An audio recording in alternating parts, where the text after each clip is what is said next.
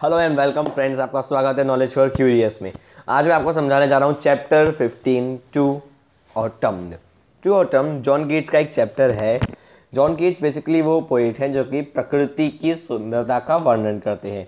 Thirty three lines में उन्होंने autumn का वर्णन किया है। इससे पहले आप समझ लीजिए ऑटम क्या है। अभी अभी जो मैंने आपको वीडियो दिखाई थी, करीबन एक मिनट की जो क्लिप थी, उसमें जब वो शुरू हुई तो वो समर सीज़न था और उसके बाद में सर्दी आई और इसी बीच आता है सुंदर सा ऑटम अगर बात करें ऑटम सीज़न की तो ऑटम सीज़न में मतलब इस पोएम पोएम में जो कहा गया है, वो क्या कहा गया है शुरू की दो लाइन्स में?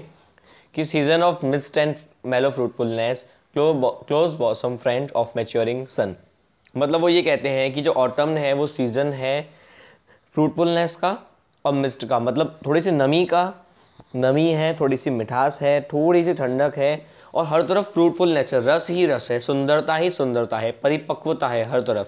और ये जो सन आप देख रहे हैं, ये क्या मैच्योरिंग सन है? यानी बेसिकली रेड सन है। तो वो और ऑटम सीज़न दोस्त है। अब सीज़न कैसे दोस्त होगा? तो जैसे हिंदुज़म में होता है ना कि ये सेहत के देवता, समुद्र देवता, ये देवता, वो देवता तो वो क्या है? वो होता है पर्सोनिफिकेशन यानी आप एक चीज़ को देवता मान लेते हो, उसी तरीके से वो सीज़न को एक लड़का मान लेते हैं, व्यक्ति मान लेते हैं, और फिर कहते हैं कि वो दोनों दोस्त हैं। आई होप आपको समझ में आई दो लाइन्स अब बात करते हैं नेक्स्ट दो लाइन्स की।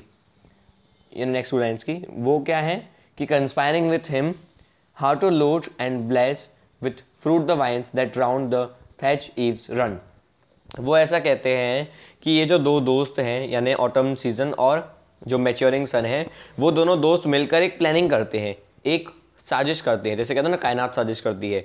वैसे ये जो दो चीज़ें हैं, मौसम और सूरज ये एक साजिश करते हैं और वो साजिश क्या है कि हर तरफ़ जो पेड़ हैं, लताएँ हैं, इनको ब्लेस कर दो और इन सबको दे दो सुंदर सुंदर, मीठे मीठे फ्रूट्स और वो बेल जो कि कॉटेज के पास में लिपटी हुई है. कॉटेज यानी जो थे चीव्स लिखा है वो कॉटेज के लिए कहा गया है. उसमें भी फल ले आओ या फूल ले आओ.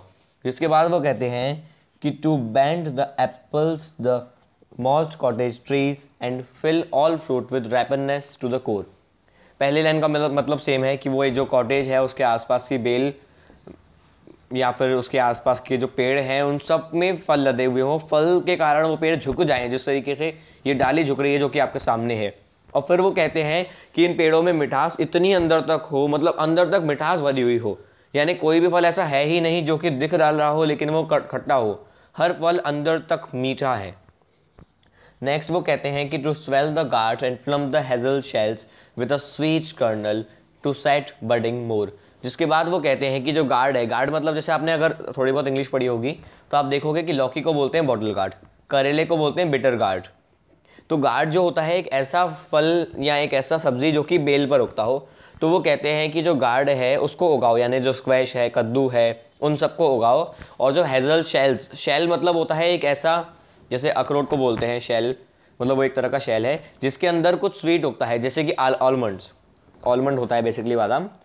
तो वो कहते हैं ऐसी चीज़ें जिसके अंदर से कुछ मीठा निकलेगा आलमंड जैसा ड्राई फ्रूट तो इन सबको लोड कर दो या इन सबको उगाओ बेसिकली जिसके बाद जब वो कहते हैं टू साइड बडिंग मोर तो ये टू साइड बडिंग मोर जो लाइन है, उसका मतलब ये नहीं है कि ऑटम के सीज़न में लेट बडिंग होगी. वो तो होती है लेट बडिंग होती है. लेकिन जो उसका लॉजिक है, वो ये है कि आज जो बडिंग हो रही है और ये जो बीज आपके सामने हैं, इस तरीके के बीज जो आज गिर रहे हैं, उनसे जब अंकुरित होकर स्प्राउट्स बनेंगे और उनसे जब फ्लावर्स बनेंगे तो वो फ्लावर कब तक बनेंगे? समर सीज़न तक। तो वो कल्पना को वहाँ तक ले जाते हैं अपनी ऑटम के बाद जो विंटर, उसके बाद जो समर आएगा, कि वहाँ तक वो ले जाते हैं कि जब ये बीज से स्प्राउट्स उगेंगे और फूल उगेंगे, उन फूलों का रस ले लेकर जब हनी शहद स्टोर करेगा तो हनी को आ, मतलब हनी बीज को यानी मधुमक्खियों को ऐसा फील होगा कि ये जो हनी है ये जो सीज़न है इतना शानदार गर्मियों का जो सीज़न है वो कभी ख़त्म होगा ही नहीं। देखो क्या होता है जो मधुमक्खी है वो इंसान की तरह नहीं होती जिसको याद होगी सुख के बाद दुख आएगा या हर चीज़ का अंत है ऐसी चीज़ें उनको याद नहीं रहती। तो उन्हें ऐसा लगेगा कि जो इतना अच्छा सीज़न है कभी ख़त्म नहीं होगा। आई होप आपको फ़र्स्ट स्टेंजा समझ में आया जिसमें सिर्फ़ सुंदरता की बात की। अगर बात करें सेकेंड स्टेंजा की तो इसमें ऑटम जो सीज़न है, उसको अपन देखेंगे एक व्यक्ति की तरह। और व्यक्ति की तरह देखते हुए बोलते हैं कि अगर कल कल्पना कीजिए कि आप एक गाँव में हैं और आप ढूँढने निकलते हैं कि ऑटम सीज़न से मैं मिलूँ, मैं उसके दर्शन करूँ। तो आप कैसे करोगे? सिंपल है, आप बस रास्ते पे निकल जाओ एक डंडा लेकर और हर जो स्टोर स्टोर मतलब कहा गया है, एक दुकान को नहीं कहा गया है। स्टोर मतलब है एक बड़ी सी जगह जहाँ पर अनाज रखा हुआ हो बेसिकली एक गोदाम। तो बस आप एक उस गोदाम में जाओ, ठक ठक करो और कहीं ना कहीं पे किसी ना किसी गोदाम में जो ऑटम है आपको मिला मिला होगा लेटे हुए। वो लेटा होगा क्यों? क्योंकि ऑटम का जो काम है वो हो चुका है। खेती हो चुकी है, हर तरफ़ फल, फूल, जो अनाज है वो सब उग चुका है। या फिर आपको कहाँ मिलेगा? जो आपको इमेज दिखाई गई है वो है थ्रेशिंग फ्लोर की, यानी जहाँ पे थ्रेशिंग होती है। अगर आप में से, अगर आपने गाँव देखा हो या थ्रेशिंग देखी हो तो थ्रेशिंग क्या है? गेहूँ के उगने के बाद गेहूँ के जो दाने हैं उनको अलग करते हैं और जो जौ है उसको अलग करते हैं।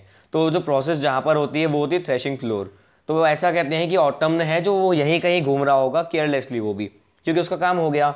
यानी वो अपनी मस्ती में घूम रहा होगा। यानी जो टोटल मस्ती दिखाते हैं पोइट प्रकृति से कनेक्ट करते हुए।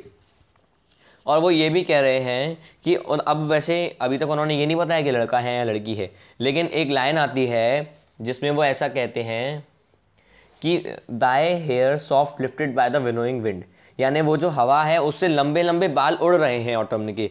यानी वो डायरेक्टली ये कह देते हैं कि ऑटम एक लड़की है। इससे मतलब अपन अंदाज़ा लगा सकते हैं कि वो एक लड़की है। जिसके बाद जो अभी आपके सामने इमेज है ना रेड कलर के फ्रूट्स की, ये पॉपीज़ हैं। मतलब ये एक ऐसा फ्रूट होता है जो बेसिकली एक ड्रग बनाने के काम आता है। तो वो ऐसा कह रहे हैं, एक सीन बता रहे हैं, जब ऑटम खेत में होगा, आधी फ़सल पकी है, आधी नहीं पकी है। और वहाँ पर वो हैं, और जो पॉपीज़ की खुशबू से वो वो नींद आ रही है उन्हें। पॉपीज़ की खुशबू ऑफकोर्स जिससे ड्रग बनेगा, उससे नींद तो आएगी। तो वो ऐसा कहते हैं। जिसके बाद फिर वो बताते हैं कि वहाँ से जो ऑटम है अगेन जो मैंने आपको इमेज दिखाई है, उसमें लड़की दिखाई है। क्योंकि वो कहते हैं कि ऑटमनिक स्टाल आपने देखा होगा पराली को बोलते हैं, जो बड़ी बड़ी घास होती है ना, गेहूँ गेहूँ के बाद, या किसी फ़सल फ़सल के बाद। तो ऑटम उस पराली को लेकर एक पानी को पार करते हुए, आपको जो नेक्स्ट इमेज दिखाई गई है वो है पानी की। तो उस पानी को पार करते हुए सिर पर अपनी पराली को रखते हुए धीरे धीरे पार करते हुए आपको ऑटम में मिलेगा। तो ग्रेनरी में थ्रेशिंग फ्लोर पर, खेत में जहाँ पर पॉपीज़ की खुशबू आती है नींद वाली, या फिर इस सीन में, इस पानी पर मतलब इस पानी को पार करते हुए, इन चार जगहों में से कहीं ना कहीं आपको ऑटम मिल जाएगा।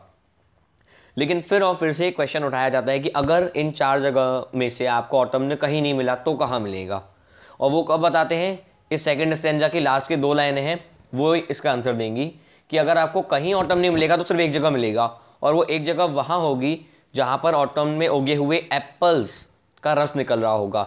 मतलब वो ऐसा कहते हैं कि ऑटम जो सीज़न है, वो कहीं खड़े होकर देख रहा होगा एप्पल्स को, और एप्पल्स में से मस्त जूस निकल रहा होगा। मतलब वो घंटों जो अपना ऑटम सीज़न है, वो एप्पल्स को देखते जा रहा है कि इन्हें मैंने सन के साथ मिलकर इन्हें ब्लेस किया था। इनके अंदर तक मैंने मिठास भर दी थी और ये मिठास जूस बनकर बाहर आ रही है। तो सेकेंड स्टैंडा में आपने देखा पर्सनिफिकेशन होता क्या है? जो सुंदर पर्सनिफिकेशन किया है, बहुत ही फ़ेमस पोइट जॉन कीट्स ने। अब फाइनली बात करते हैं थर्ड स्टैंडा की। थर्ड स्टैंडा कनेक्टेड है टोटली म्यूज़िक से। म्यूज़िक मतलब मैं कोई गाना नहीं चलाऊँगा वीडियो में। लेकिन म्यूज़िक का मतलब क्या है? क्या होता है जो लंदन का ये जो कल्चर है, उसमें एक स्प्रिंग सीज़न आता है। स्प्रिंग सीज़न बेसिकली क्या हुआ? कि वो सीज़न जब सर्दी से गर्मी आ रही हो तो क्या होता है जो जो शिपर्ड्स होते हैं ना, जो कि भेड़ बकरी चराने वाले लोग, गाँव के लोग, वो लोग म्यूज़िक बजाते हैं। जैसे हमारे राजस्थान में अगर आप देखोगे, राजस्थान या गुजरात में तो कल्चरल म्यूज़िक होता है, जैसे लोक संगीत कहते हैं। उसी तरीके का संगीत होता है लंदन में। और अभी अभी जो आप इमेज देख रहे हैं, इसमें एक म्यूजिकल इंस्ट्रूमेंट है। अगर आपने टॉम एंड जेरी देखा है तो उसमें भी एक बार ऐसा दिखाया गया था। इसको बोलते हैं lyre L Y R E lyre तो इस म्यूजिकल इंस्ट्रूमेंट का यूज़ कर कर जो लंदन के लोग हैं, कबीले वाले, गाँव वाले, वो म्यूज़िक बजाते हैं। तो जो पोइट है वो ये क्वेश्चन उठाते हैं कि यार स्प्रिंग में तो म्यूज़िक होता है ऑटम के पास क्या म्यूज़िक नहीं है? और वे वो आंसर भी खुद ही दे देते हैं और आंसर ये है कि नहीं।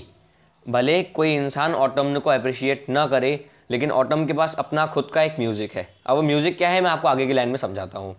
तो वो म्यूज़िक की शुरुआत ऐसे होती है कि एक सीन है सनसेट का जब हर तरफ़ बादल ही बादल छाए हुए हैं और जब सनसेट होता है तो जो सटल प्लेन है सटल मैंने इसलिए बोला क्योंकि देखो, जब खेती होगी तो क्या है बड़े बड़े आपको झाड़ दिख सकते हैं और जो पराली या जो घास होती है वो दिख सकती है। सटल कहलाएगा जब वो बुआई हो चुकी है। हार्वेस्टिंग के बाद जो ज़मीन बचती है, उसमें जब सनसेट होता है तो हर तरफ़ जो लालिमा छा जाती है, उसकी कल्पना की गई है।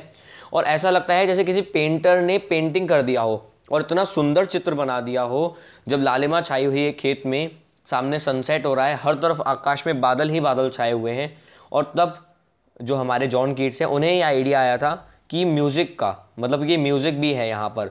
और वो म्यूज़िक वो सुनते हुए ये कहते हैं कि कहीं से आवाज़ आती है गिनेट्स की। गिनेट्स मतलब एक पक्षी होता है जिसके रोने की आवाज़ आ रही है। रोने की आवाज़ क्यों आएगी? इतना खूबसूरत सीज़न है तो वो रोएगा क्यों? वो रो इसलिए रहा है क्योंकि जो गिनेट एक पक्षी होता है, इसका एक नेचर है। कि जैसे ही सूरज की धूप उगना शुरू होगी और जैसे जैसे धूप बढ़ती जाएगी, रोशनी बढ़ती जाएगी, ये उड़ना शुरू करेगा। और रोशनी के कम होते होते ये वापस नीचे आएगा और रहेगा नदी के किनारे हमेशा, पानी के आसपास। तो वो रो रहा है कि अब दिन खत्म हो गया मेरा, अब उड़ने का समय खत्म हो गया। तो इस तरीके की आवाज़ आती है पानी के पास में ग्रेड्स की। जहाँ पर ये हवा जो है, वो है, लेकिन जो रोशनी है, वो एक तरह से ख़त्म हो रही है, टोटली। यानी जो दिन का अंत है, वो दिखता है। फिर दूर कहीं आवाज़ आती है और म्यूज़िक्स की। फॉर एग्ज़ाम्पल आवाज़ आती है लैम्ब। लैम्ब यानी होता है जो भेड़ का बच्चा, जिसकी नेक्स्ट इमेज आपके सामने आने वाली है। तो वो जो वर्ड यूज़ करते हैं, वो वर्ड यूज़ करते हैं full grown lambs loud bleat from hilly hilly bourn यानी जो हिल्स हैं, उसकी ऊंचाई पर कहीं पर लैम्ब जो कि फुल ग्रोन है। फुल ग्रोन मतलब अगेन वो एज वाली बात करते हैं। कि ऐसा लाम जिसकी है ना एक एज परिपक्वता के ऊपर है।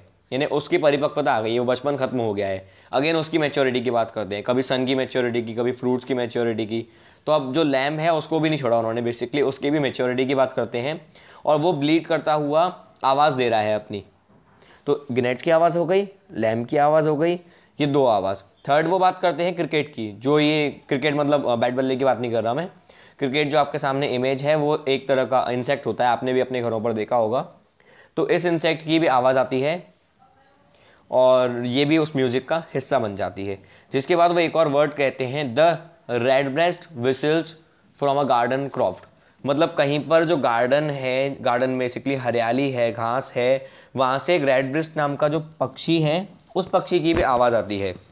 तो ये हो गई आवाज़। इसके बाद एक फाइनल जो आवाज़ आती है, अगर आपने ट्विटर यूज़ किया होगा तो ट्विटर जो आइकन है बेसिकली वो लिया गया है एक पक्षी से, एक पक्षी होता है ट्विटर जो कि आसमान में मतलब जब वो मूव होता है, उड़ता है तो उसको भी ट्विटर बोला जाएगा कि ये जो पक्षी है, ये ट्विटर कर रहा है।